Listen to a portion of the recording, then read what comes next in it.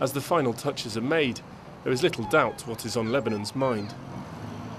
The outspoken Iranian leader Mahmoud Ahmadinejad is due in the country for the first time, on a trip that is dividing the nation. The official visit, which will include meetings with the Lebanese president and prime minister, is being welcomed by the powerful Shiite militant group Hezbollah, long seen as a proxy of Shia dominated Iran.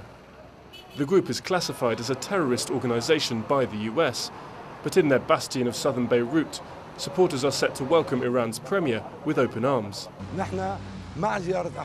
We are happy that Ahmadinejad is visiting Lebanon. He's a great man.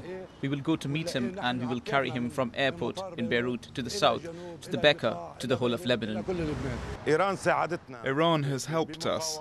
It has helped Hezbollah. It helped rebuild the country. It has helped the country in every way. But not everyone is so pleased. Both the US and neighbouring Israel, whose volatile border Ahmadinejad is set to visit, have voiced their concerns, saying his presence threatens regional stability. And within Lebanon's own National Unity government, members of the Western backed March the 14th alliance are concerned that Tehran is using the visit to cement its place as the region's superpower. He is telling the international community various things.